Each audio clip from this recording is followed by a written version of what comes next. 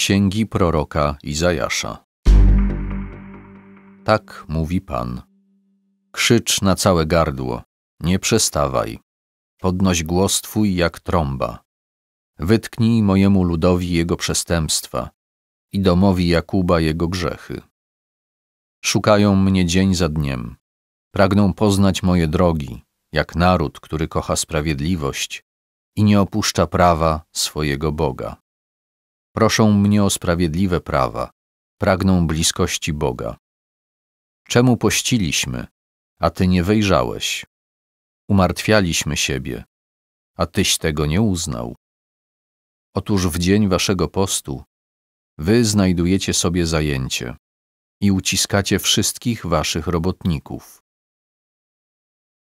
Otóż pościcie wśród waśni i sporów i wśród bicia niegodziwą pięścią. Nie pośćcie tak, jak dziś czynicie, żeby się rozlegał zgiełk wasz na wysokości. Czyż to jest post, jaki ja uznaję, dzień, w którym się człowiek umartwia? Czy zwieszanie głowy jak sitowie i użycie woru z popiołem za posłanie? Czyż to nazwiesz postem i dniem miłym Panu? Czyż nie jest raczej ten post, który wybieram, rozerwać kajdany zła, rozwiązać więzy niewoli, wypuścić wolno uciśnionych i wszelkie jarzmo połamać, dzielić swój chleb z głodnym, wprowadzić w dom biednych tułaczy, nagiego, którego ujrzysz przeodziać i nie odwrócić się od współziomków. Wtedy twoje światło wzejdzie jak zorza i szybko rozkwitnie twe zdrowie. Sprawiedliwość twoja poprzedzać cię będzie. Chwała pańska iść będzie za tobą. Wtedy zawołasz, a Pan odpowie. Wezwiesz pomocy, a On rzeknie, oto jestem. Jeśli u siebie usuniesz jarzmo, przestaniesz grozić palcem i mówić przewrotnie.